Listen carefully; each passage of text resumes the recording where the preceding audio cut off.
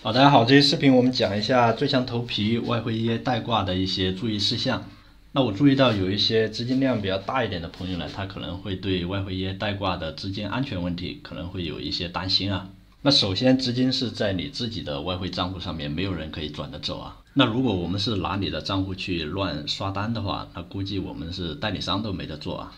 那我这边，如果你的本金是超过一万美金的，可以直接找我们拿这个外汇业的实盘的账号和密码。那你可以自己登录在自己的一个电脑上面，查看我们的每一笔的历史的一个交易记录。那这样的话，你应该就知道我们的外汇业是非常有实力的啊。那如果是本金低于一万美金的，那我们会在帮你代挂好之后。我们会在邮件上面和你核对每一笔单子开单的一个点位的一个明细，那确保是一模一样的，那之后基本上就不用管了。还有一个是这款最强头皮的收益率的问题啊，那这款 EA 的年化收益率大概是保守一点讲的话是在百分之八十啊，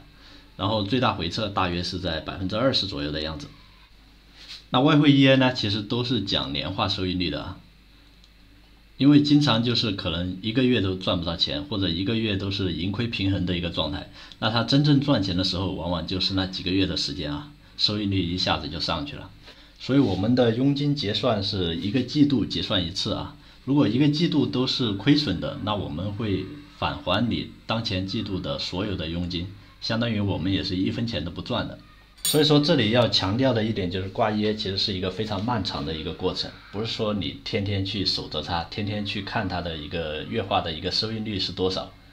那如果是这样子的话，你应该是坚持不了几天的。比如说最强头皮这几天都是亏损的，那如果你是在亏损的时候没有挂住它，那如果当它盈利的时候，你也赚不到它的收益啊。其实这几天我观察网上的很多的耶都是亏损的。